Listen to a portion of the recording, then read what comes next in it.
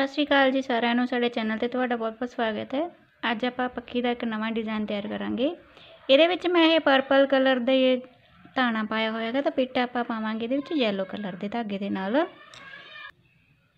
ਚਲੋ, ਅੱਜ ਦਾ ਡਿਜ਼ਾਈਨ ਸ਼ੁਰੂ ਕਰਦੇ ਹਾਂ। ਸਭ ਤੋਂ ਪਹਿਲਾਂ ਆਪਾਂ ਕੀ ਕਰਨਾਗਾ ਕਿ ਲਹਿਰੇ ਡਿਜ਼ਾਈਨ ਤਿਆਰ ਕਰਾਂਗੇ, ਤਿੰਨ ਧਾਗਿਆਂ ਨੂੰ ਦਬਾਵਾਂਗੇ, ਤਿੰਨ ਧਾਗਿਆਂ ਨੂੰ ਚੱਕਾਂਗੇ ਇਸ ਤਰੀਕੇ ਦੇ ਨਾਲ। ਸਭ ਤੋਂ ਪਹਿਲਾਂ ਮੈਂ ਕੀ ਕੀਤਾ ਹੈਗਾ ਕਿ ਇਹ ਤਿੰਨ ਧਾਗਿਆਂ ਨੂੰ ਚੱਕਿਆ ਹੈਗਾ ਤਿੰਨ ਧਾਗਿਆਂ ਨੂੰ ਦਬਾਇਆ, ਫਿਰ ਤਿੰਨ ਧਾਗਿਆਂ ਨੂੰ ਚੱਕਿਆ ਅਤੇ ਤਿੰਨ ਧਾਗਿਆਂ ਨੂੰ ਦਬਾਇਆ। ਇਹ ਇਸ ਤਰ੍ਹਾਂ 21 ਧਾਗਿਆਂ ਨੂੰ ਯਾਨੀ ਕਿ 7 ਭਾਗਾਂ 'ਚ ਵੰਡਿਆ ਗਿਆ ਹੈਗਾ ਉਸ ਤੋਂ ਬਾਅਦ ਇੱਥੇ ਮੈਂ ਇੱਕ ਧਾਗਾ ਦਬਾਇਆ ਸੀ। ਦੁਬਾਰਾ ਫਿਰ ਆਪਾਂ ਇੱਧਰਲੀ ਸਾਈਡ 21 ਧਾਗਿਆਂ ਨੂੰ, ਤਿੰਨ ਧਾਗਿਆਂ ਨੂੰ ਚੱਕਾਂਗੇ, ਤਿੰਨ ਨੂੰ ਦਬਾਵਾਂਗੇ, ਇਸ ਪੈਟਰਨ ਦੇ ਨਾਲ ਆਪਾਂ ਫਿਰ ਦੁਬਾਰਾ ਇੱਕ ਧਾਗਾ ਦਬਾਵਾਂਗੇ ਦੁਬਾਰੇ ਫਿਰ ਯਾਨੀ ਕਿ ਸਾਰੇ 21 21 ਧਾਗੇ ਨੇ ਜਿਨ੍ਹਾਂ ਨੂੰ ਆਪਾਂ ਸੱਤ ਭਾਗਾਂ 'ਚ ਵੰਡ ਕੇ ਇਸ ਤਰ੍ਹਾਂ ਡਿਵਾਈਡ ਕੀਤਾ ਗਾ ਜਿਹੜਾ ਸੈਂਟਰ ਵਾਲਾ ਇੱਕ ਧਾਗਾ ਗਾ, ਇਹਨੂੰ ਤਾਂ ਆਪਾਂ ਲਹਿਰੀਆ ਇੱਧਰਲੀ ਸਾਈਡ ਲੈ ਜਾਂਦੇ ਹੋਏ ਇਸ ਨੂੰ ਬੰਦ ਕਰਾਂਗੇ। ਇਹਨਾਂ ਦੋਨਾਂ ਪੁਆਇੰਟਾਂ ਦੇ ਉੱਪਰ ਮੈਂ ਇਹ ਡਾਇਮੰਡ ਬਣਾਇਆ ਗਾ। ਆਪਣੇ ਸੈਂਟਰ ਦੇ ਵਿੱਚ ਇਹ 25 ਧਾਗੇ ਬਣ ਚੁੱਕੇ ਨੇ। ਤੇ ਆਪਾਂ 20 ਧਾਗਿਆਂ ਤੋਂ ਬਾਅਦ ਤਿੰਨ ਧਾਗਿਆਂ ਨੂੰ ਦਵਾਵਾਂਗੇ।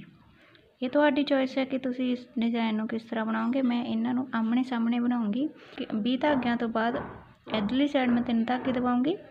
ਤੇ ਇੱਥੋਂ ਮੈਂ 20 ਧਾਗਿਆਂ ਤੋਂ ਬਾਅਦ ਇੱਧਰਲੀ ਸਾਈਡ ਤੇ ਤਿੰਨ ਧਾਗੇ ਦਵਾਉਂਗੀ ਬਾਕੀ ਲਹਿਰੀਆ ਉਸੇ ਤਰ੍ਹਾਂ ਹੀ ਜਾਊਗਾ।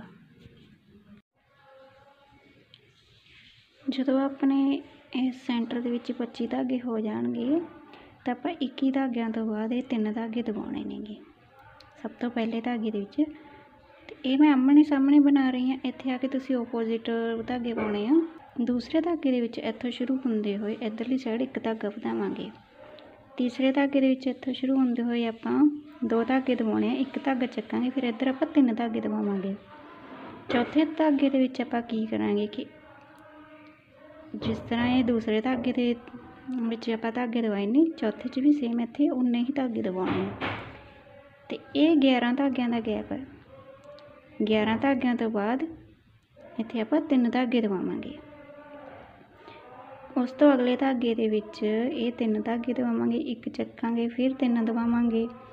ਇਸ ਤੋਂ ਬਾਅਦ ਇਹਨਾਂ ਤੋਂ ਬਾਅਦ ਆਪਾਂ ਇੱਥੋਂ ਸ਼ੁਰੂ ਹੁੰਦੇ ਹੋਏ ਇੱਧਰਲੀ ਸਾਈਡ ਇੱਕ ਧਾਗਾ ਵਧਾ ਦਾਂਗੇ।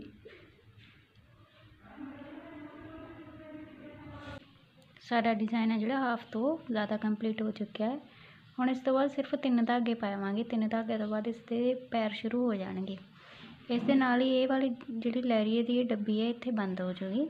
ਅਤੇ ਤੀਸਰਾ ਜਿਹੜਾ ਆਪਣਾ ਕੋਕ ਡਿਜ਼ਾਇਨ ਉਹ ਇੱਥੇ ਪੈ ਜਾਊਗਾ। ਬਾਕੀ ਦੇ ਸਾਈਡ ਵਾਈਜ਼ ਆਪਾਂ ਲੈਰੀਆ ਇਸੇ ਤਰ੍ਹਾਂ ਕੰਟੀਨਿਊ ਰੱਖਾਂਗੇ। ਇਸੇ ਤਰੀਕੇ ਦੇ ਨਾਲ ਤੁਸੀਂ ਆਪਣੇ ਇਹ ਪੱਖੀਆਂ ਦੇ ਵਿੱਚ, ਮੰਜਿਆਂ ਦੇ ਵਿੱਚ ਕੁੱਕੜਾਂ ਦਾ ਡਿਜ਼ਾਈਨ ਜਾਂ ਕੋਕ ਡਿਜ਼ਾਈਨ ਪਾ ਸਕਦੇ ਹੋ। ਜੇਕਰ ਤੁਹਾਨੂੰ ਇਹਨਾਂ ਪੱਖੀਆਂ ਦੇ ਡਿਜ਼ਾਈਨਿੰਗ ਦੇ ਵਿੱਚ ਸਮਝਣ 'ਚ ਕੁਝ ਪ੍ਰੋਬਲਮ ਹੋਈ ਹੈ ਤਾਂ ਮੈਂ ਇੱਕ ਵੀਡੀਓ ਅਪਲੋਡ ਕੀਤੀ ਹੈ ਜਿਹਦੇ ਵਿੱਚ ਗ੍ਰਾਫ ਦੇ ਵਿੱਚ ਇਹ ਬਣਾ ਕੇ ਦਿਖਾਇਆ ਗਿਆ ਗਾ ਤੁਸੀਂ ਉਸ ਗ੍ਰਾਫ ਦੇ ਰਾਹੀਂ ਬਹੁਤ ਹੀ ਕਲੀਅਰਲੀ ਸਮਝ ਸਕਦੇ ਹੋ ਕਿ ਇਹ ਡਿਜ਼ਾਈਨ ਮੈਂ ਕਿਵੇਂ ਤਿਆਰ ਕੀਤਾ ਹੈਗਾ। ਇਸ ਤਰੀਕੇ ਦੇ ਨਾਲ ਆਪਾਂ ਆਪਣੇ ਪੱਖੇ ਜਾਂ ਮੰਜੇ ਦੇ ਵਿੱਚ ਇਹ ਕੌਕ ਡਿਜ਼ਾਈਨ ਪਾ ਸਕਦੇ ਹਾਂ। ਤੁਹਾਨੂੰ ਸਾਡੀ ਅੱਜ ਦੀ ਵੀਡੀਓ ਕਿਵੇਂ ਲੱਗੀ ਜ਼ਰੂਰ ਦੱਸਿਓ। ਐਂਡ ਤੱਕ ਵੀਡੀਓ ਦੇਖਣ ਦੇ ਲਈ ਬਹੁਤ ਬਹੁਤ ਧੰਨਵਾਦ।